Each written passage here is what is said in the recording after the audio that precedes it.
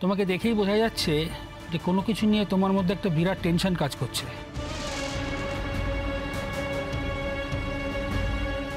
না ডাক্তারবাবু।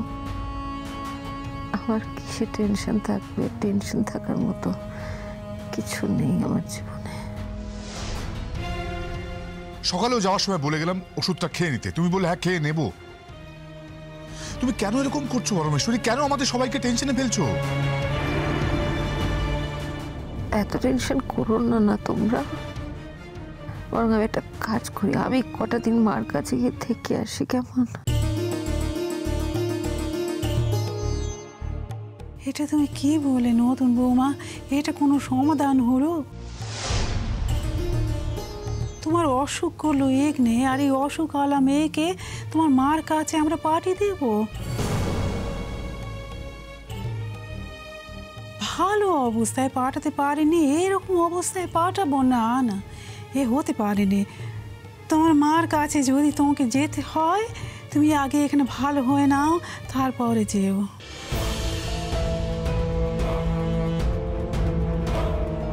কোথাও যাবে না। কোথাও যাবে না তুমি। আমাকে যেমন কোথাও যেতে দাওনি এত কিছু সহ্য করে আমাকে তুমি এই বাড়িতেই রেখে দিয়েছ তেমন তুমিও কোথাও যাবে না। কোথায় আর যাব? মার কাছে গেলে দুদিনের জন্য যাব আর কি? এখন না। আগে ভালো হও তারপর। আমাদের মেয়েদের নিজেদের কোনো জায়গা আছে নাকি পারো? ছোটবেলায় বাবার কাছে বিয়ের পর বরের বাড়ি। ভবিষ্যতে ছেলে মেয়ে হলে সেই ছেলে মেয়ের বাড়ি। আমাদের নিজেদের কোনো জায়গা নেই বলে আমরা যখন যেখানে থাকি, সেই জায়গাটাকে নিজের মতো করে আঁকড়ে নি পারো। বিয়ের আগে যখন বাপের বাড়িতে থাকতাম, তখন ওই বাড়িটাকে এত ভালোবেসেছিলাম যে মনে হয়েছিল এই বাড়িটা ছেড়ে আমি অন্য কোথাও গিয়ে কোনোদিনও থাকতে পারব। কিন্তু সেই বাপের বাড়ির লোকেরাই তো অবলীলায় বিয়ে দিতে পেরেছিল, বল। বিয়ের পর আস্তে আস্তে কেমন আপনা আপনি দূরেও সরিয়ে দিতে পেরেছিল। বিয়ের পর বাপের বাড়িতে গিয়ে সাত দিনের জায়গায় দশ দিন যখন থাকতাম না, তখন তখন মা বলতেন শ্বশুর বাড়িতে কোনো ঝামেলা হয়েছে?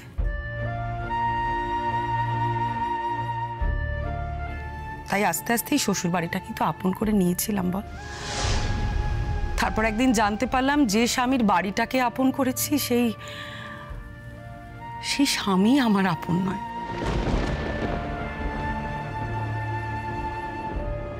অথচ এখনও জোর খাটিয়ে আমি এই বাড়িটাতেই পড়ে আছি। কি করব বলতো? কি করব? এক- একটা বাড়ি ভাড়া নেব? কে দেবে ভাড়া? আর নিজেরও সেই সামর্থ্য নেই যে নিজে একটা বাড়ি তৈরি করব। আর নিজে বাড়ি তৈরি করার মধ্যেও তো অনেক ঝঞ্ঝাট, জানিসই তো। একা মেয়ে বাড়ি করছে। এত লম্প ঝম্প সমাজই মেনে নেবে না।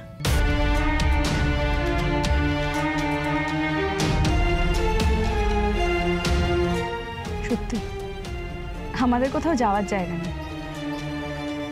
পড়াশোনা করে, চাকরি বাকরি পেয়েও আমাদের সমাজে মেয়েরা কত অসহায়। তবু আমি বলব, যে মেয়েরা ভাবে যে চাকরি করব না, সংসার করব, নিজের স্বামীকে ভালোবাসবো, শ্বশুরবাড়ির সকলের সেবা করব, ছেলে মেয়ে মানুষ করব, মনের মতো করে মানুষ করব। আর কোনো কিছু করব না সব কিছু যারা স্যাক্রিফাইস করে, তাদের মতো বোকা বোধহয় আর কেউ হয় না। আজ তো আমি নিজেকে দিয়ে হারে হারে বুঝতে পারছি। এখন এতটা অসুস্থ যে চাকরিও করতে পারব না। এখন মনে হচ্ছে সুস্থ হয়ে একটা চাকরি পেলে তবেই হয়তো আমি আবার ঘুরে দাঁড়াতে পারব। অন্তত নিজের পয়সায় ভাত খাওয়ার সম্মানটুকু তো পাবো।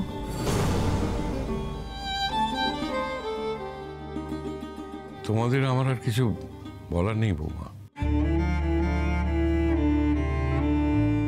তোমাদের প্রত্যেকের জীবনে এমন সব ঘটনা ঘটে গেছে, কিছু বলার মতো মুখ আর আমার নেই। তবে হ্যাঁ আমার যে বিশ্বাস যে মেয়েরা শুধু সংসার করবে, চাকরি বাকরি করবে না, এটা যে কত বড় ভুল, সেটা তোমরা একেবারে আমার চোখে আঙুল দিয়ে বুঝিয়ে দিয়েছ, প্রমাণ করে দিয়েছ।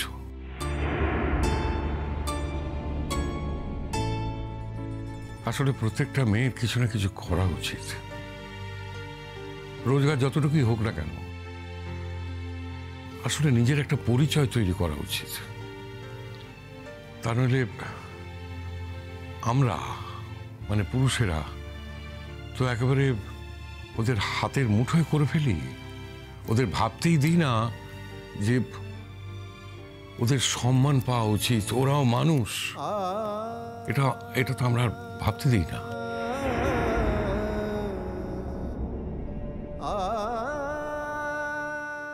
নতুন বৌমা, তুমি এভাবে শুয়ে থেকো না মা। উঠে দাঁড়াও মা।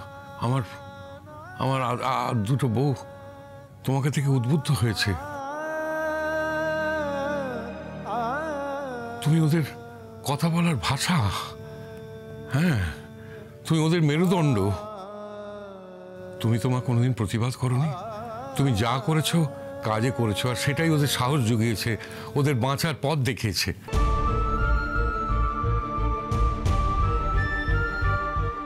সেই পথ থেকে তুমি নিজে সরে এসো না মাগো তুমি উঠে দাঁড়াও, মা।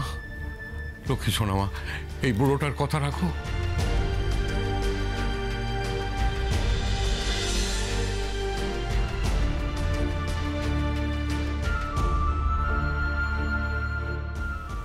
বাবা, আমি আমি তাহলে ডাক্তারবাবুকে গাড়ি অবধি ছেড়ে দিয়ে আসছি। আসুন ডাক্তারবাবু।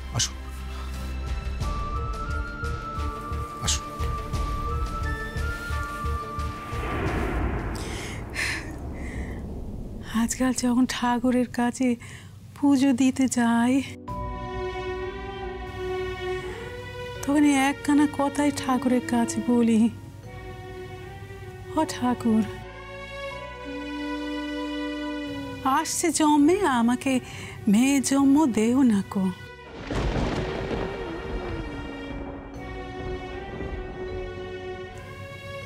না গো, মানুষ জন্ম দেও মানুষ। আমাদের দেশের লোকেরা তো মেয়েদের মানুষ বলে মনে করে নিকো তাই আসছে জমে। এমন একটা জন্ম চাই যে মেয়ে হই আর ছেলে হই। লোকে যেন মানুষ বলে ভাবে।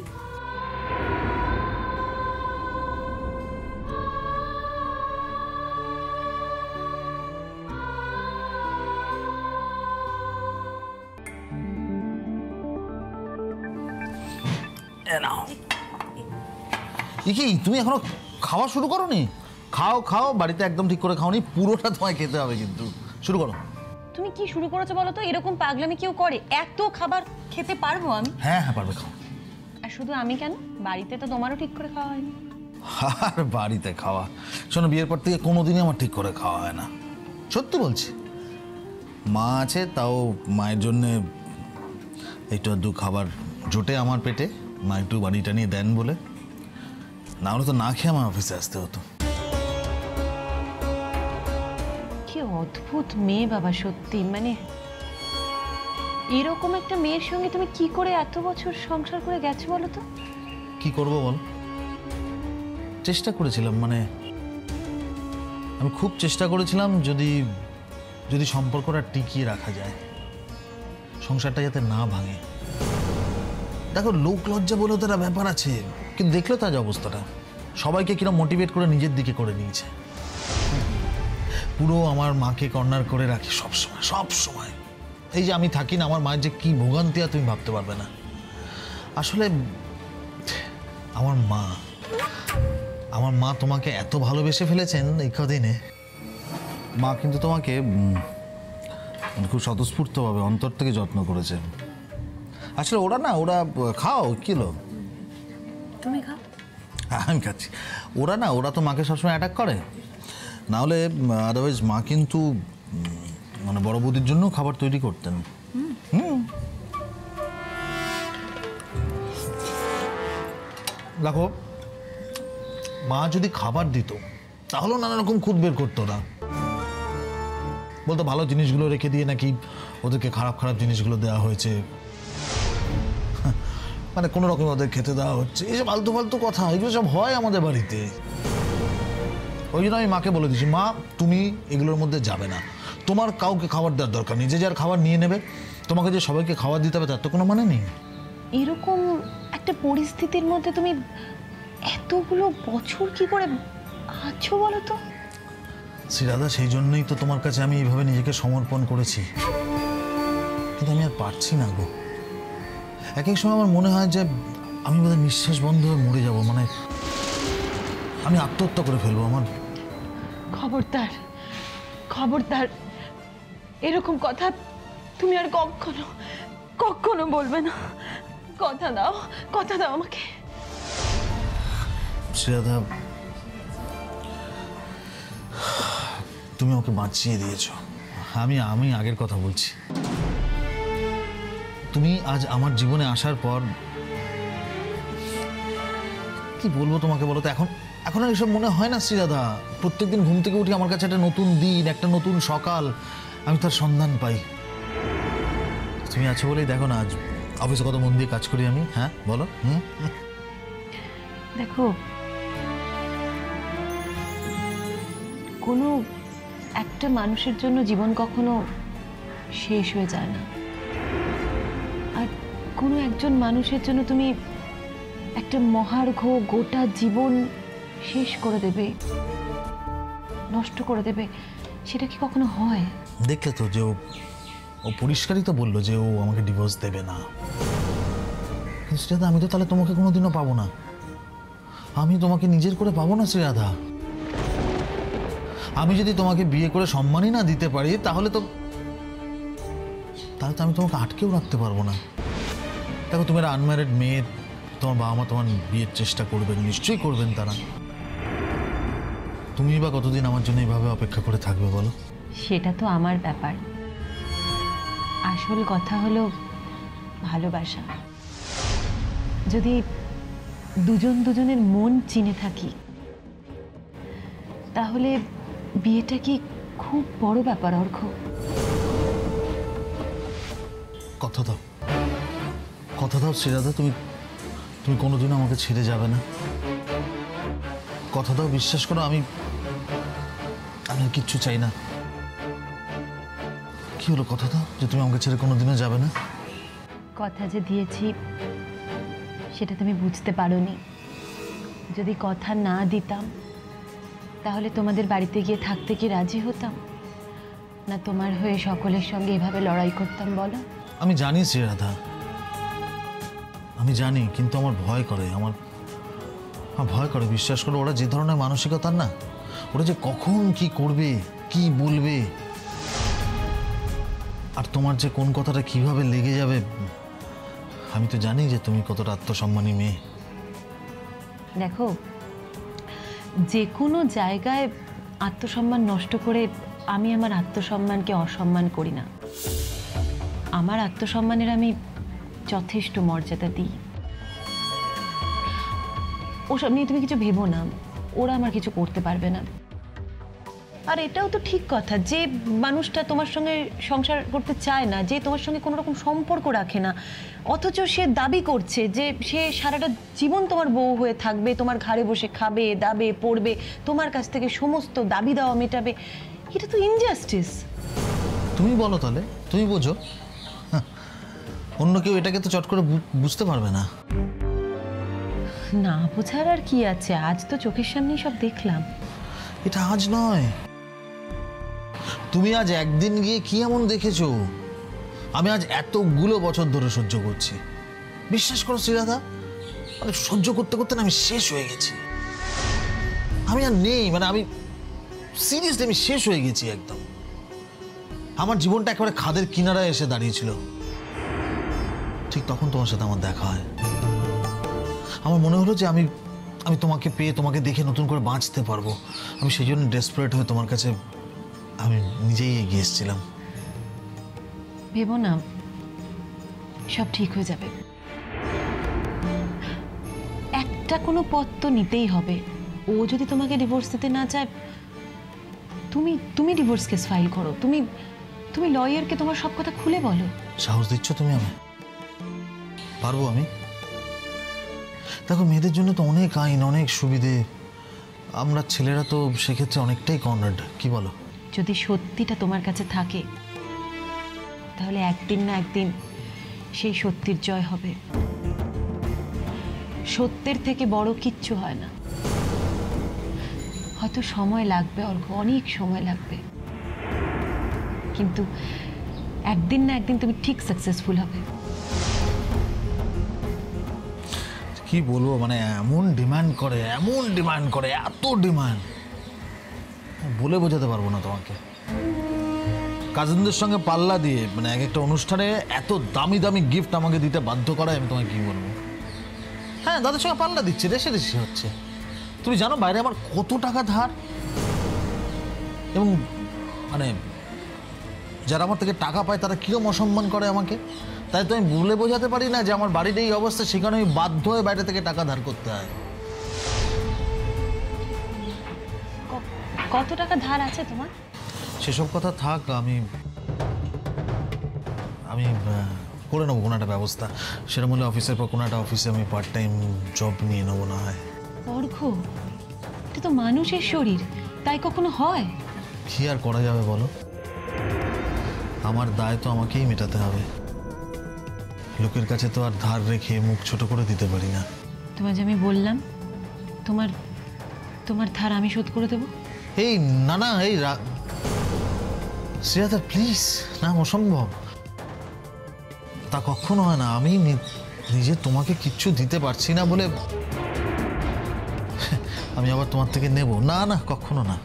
যদি আমাকে ভালোই বেসে থাকো তাহলে আমার থেকে নিতে তোমার আপত্তি কোথায়?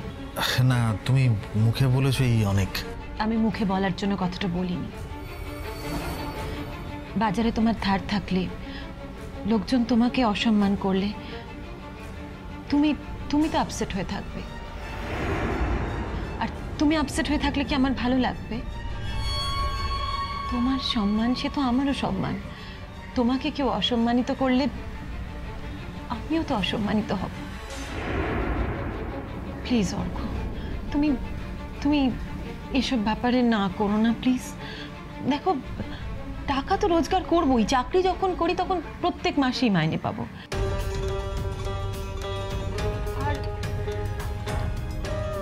সত্যি কথা বলতে কি, আমার তো লায়াবিলিটি কিছু নেই মানে বাড়িতেও তো সেরকম করে কিছু পাঠাতে হয় না।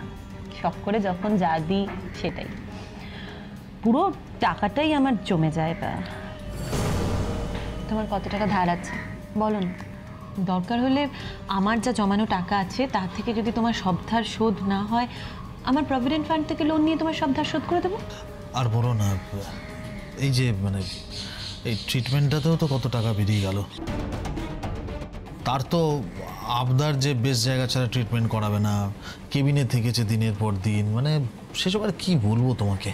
যাকে অসুখের জন্য যা খরচা করেছ ওসব নিয়ে আর কিছু ভেবো না। আর তোমার ওই টাকা পয়সা ধার দেনা নিয়েও কিছু ভেবো না? ধার দেনা আমি সব শোধ করে দেবো। জানো মাস গেলে মায়ের হাতে আমি কোনো টাকা তুলে দিতে পারি না। এই জন্য বাবার কাছে কত কথা শুনতে হয় আমায়। তো কী করব আমি তো তাদের বোঝাতে পারি না কিছুতেই যে আমি না না তুমি মাস গেলে টাকাটা তুলে দিতে পারো না কেন? চাকরির অতগুলো টাকা তুমি কি করো? ওকে তো হাত খরচা দিতে হয়। সেটা তো একটা বিশাল টাকা। তাছাড়া এই যে ধার করেছি, ওই টাকা থেকে একটু একটু করে শোধ করছি। বাড়িতে কিছু নিয়ে যেতে পারি না। ব্যাংকে ধার, লোকজনের কাছে ধার, এই কথাগুলো কি আর কাউকে বলা যায়? দেখো, তুমি এত অল্প দিনে এত কাছে এসেছ, তাই তোমাকে বলতে পারলাম সিরাদা মানে বলে আজ যেন আমি আমি নিজে হালকা হলাম। তুমি চিন্তা করে আমি যেভাবেই হোক ধারটা শোধ করে দেবো। তাহলে আমার সঙ্গে বন্ধুত্বের আর কোনো প্রয়োজন নেই বলছো? মানে? যদি বন্ধুত্ব হয়েই থাকে তাহলে বন্ধুর বিপদে বন্ধু সাহায্য করে না।